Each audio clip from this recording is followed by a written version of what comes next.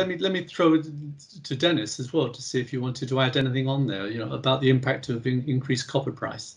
Well, the beauty at the moment is that it goes straight on the bottom line. Um, our, our our operating costs remain the same, so quite frankly, it's pure profit above uh, above that three dollars sixty according to the original model, and uh, you can probably work out the maths that the um, the price has gone up more than 10% since that model was uh, was created.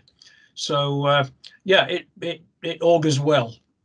Yeah, that's excellent. So knowing the tons of copper we're going to throw off and the price of copper, you can then work out the increased profit. It's as simple as that. Yes. Thank you very much, Dennis. That's a, a very positive answer.